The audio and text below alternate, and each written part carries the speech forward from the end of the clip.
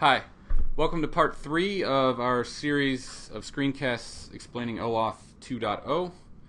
Uh, in the previous segment, part two, we took a look at how an OAuth client service and an OAuth provider service establish a shared secret.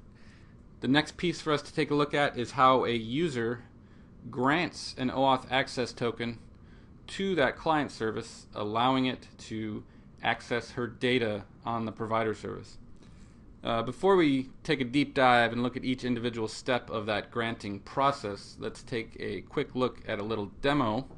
We'll go back to parsley.com and Acme Bank.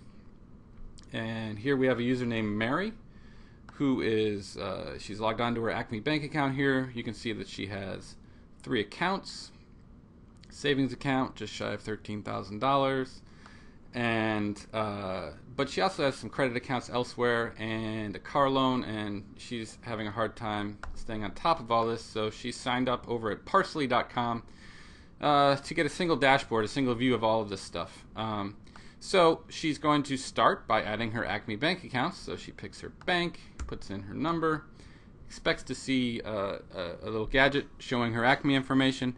Um, but because this is her first time using Parsley, uh, Parsley doesn't have an access token for her data over at Acme, so they challenge her uh, with a, uh, a message that she needs to authorize that access. Obviously, uh, in a real world uh, situation, this would be a much friendlier message, such as uh, Parsley has never accessed Acme Bank on your behalf before. Please click here to authorize. so when she does that, um, she is uh, shown a pop-up that's actually the Acme Bank login. Um, so that should make her feel fairly comfortable that uh, it's actually Acme, Acme Bank um, and not Parsley asking her for her Acme Bank credentials. So we'll log in. Uh, and Acme is asking her, do you wish to allow the service name parsley.com to access Acme Bank on your behalf? Well, yes, I do. Uh, and now uh, her data is there, and she can feel free to go and add another one. And that token will uh, outlast the browser session. So the next time she logs into parsley.com, no problem whatsoever to see that Acme Bank data again.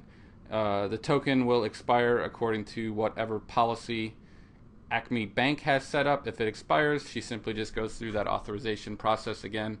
Uh, something we won't dig into in this series there's also a, a refresh protocol um, built in that could make that even a little bit less painless uh, for Mary.